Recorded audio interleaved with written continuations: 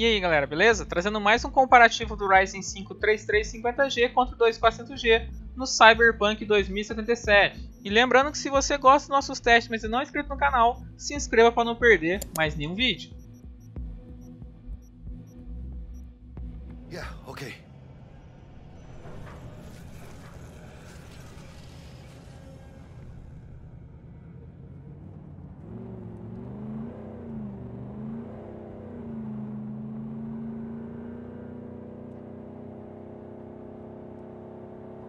You gonna tell me what happened back there? A customs dickhead got nitpicky. And that ain't normal? Not to that extent. Smelling trouble around the bend? Drive, Jackie, just drive.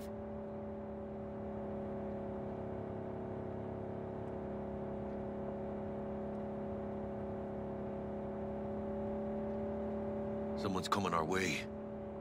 This does not look good. Stop your vehicle immediately. Let's get out of here. On it! You are transporting contraband that is corporate property. I repeat,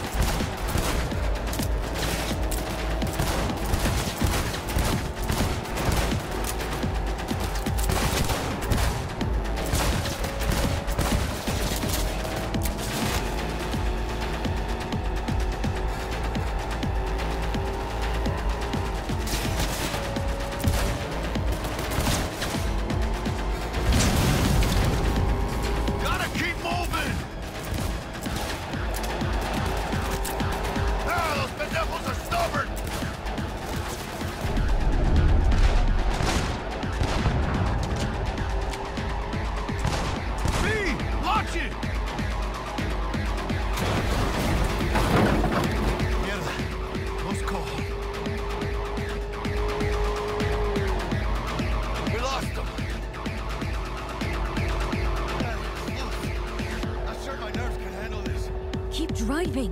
We can't stop here. Place looks deserted.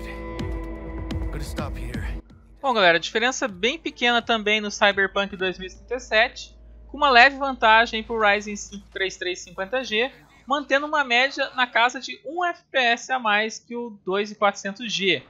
Parado aqui que está uma média 3 FPS acima, mas na gameplay ficou com 1 FPS a mais a média. Espero que tenham gostado do vídeo, se gostou deixa o like, ajuda a fortalecer o canal. Se conheceu o canal agora e gostou dos testes, se inscreva para não perder mais nenhum. Valeu e a todos e até o próximo vídeo.